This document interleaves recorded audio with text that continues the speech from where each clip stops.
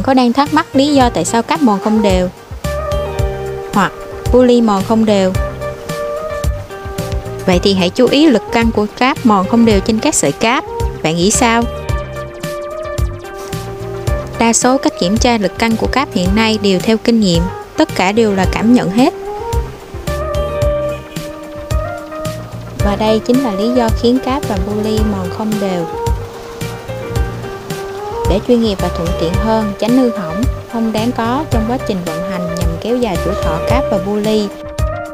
Và đây là giải pháp tốt nhất, đó chính là máy đo lực căng cáp thép Brut, thương hiệu Thụy Sĩ sản xuất tại Thụy Sĩ. Và sau đây chúng tôi sẽ hướng dẫn sơ nét về chiếc máy này. Việc cài đặt và thao tác trên thiết bị cũng khá đơn giản. Trước tiên, chúng ta chọn lỗi của sợi cáp cần đo là FC hay IVKRC. Tiếp theo là chọn đơn vị đo lường. Ở đây mình chọn loại FC và đơn vị đo lường là mm trên kN.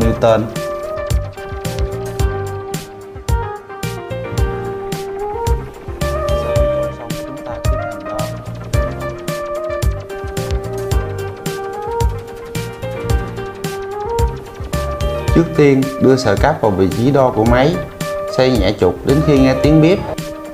Lúc này máy sẽ đưa ra kết quả của đường kính cáp.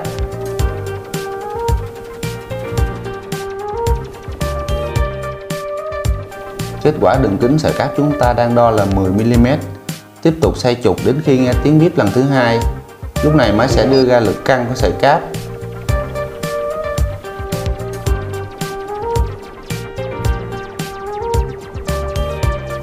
Kết quả lực căng của sợi cáp chúng ta đang đo là 0,85 kN.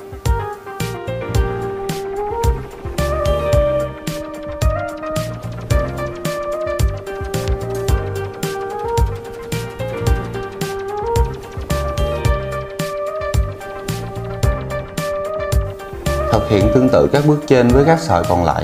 Các thông số này đã được lưu vào máy nên rất dễ dàng trích xuất khi chúng ta đo xong.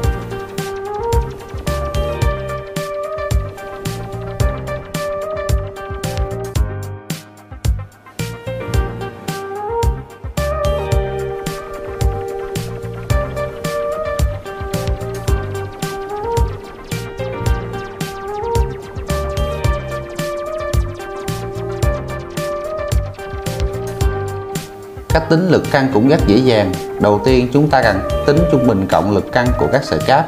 Hiện tại chúng ta có 5 sợi và có được số trung bình cộng là 1.03 kN. Bước tiếp theo là so sánh lực căng từng sợi với số trung bình cộng vừa tìm được. Nếu tất cả các sợi nằm trong phạm vi cộng trừ 5% là đạt.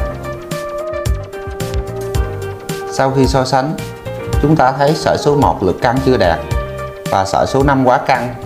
Chúng ta điều chỉnh các sợi cho đều cho than vận hành vài vòng và tiếp tục đo lại 1 đến 2 lượt nữa để đạt đến con số hoàn hảo.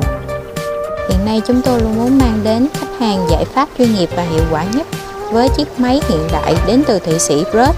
Bạn nghĩ sao về chiếc máy này? Cảm ơn các bạn đã xem hết clip. Xin chào!